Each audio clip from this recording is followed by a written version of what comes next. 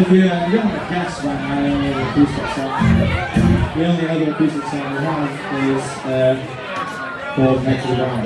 So, you know what's going on? And uh, singing. There you go. But for your trainer, you my get.